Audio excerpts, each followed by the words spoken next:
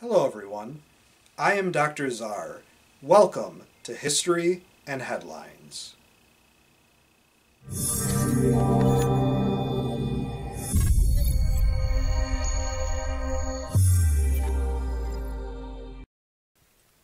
This animated map shows the daily progress of the 2022 Russian invasion of Ukraine as reported on Wikimedia Commons each day from February 24th through October 11th.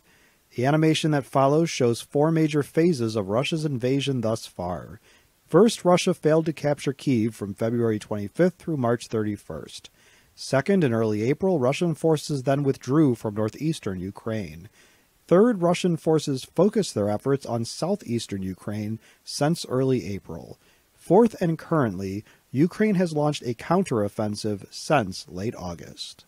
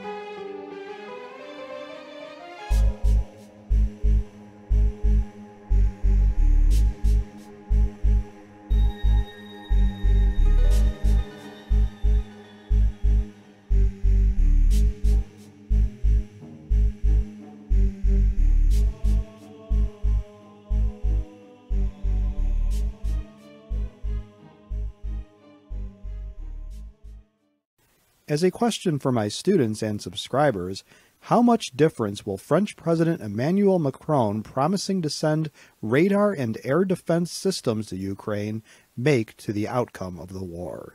Please let us know in the comments section below this video. If you like this video and would like to receive notification of new videos, please feel welcome to subscribe to History and Headlines and become one of our patrons. Your viewership is much appreciated. Finally, to learn more about Ukrainian history, please see hashtag Project Ukraine.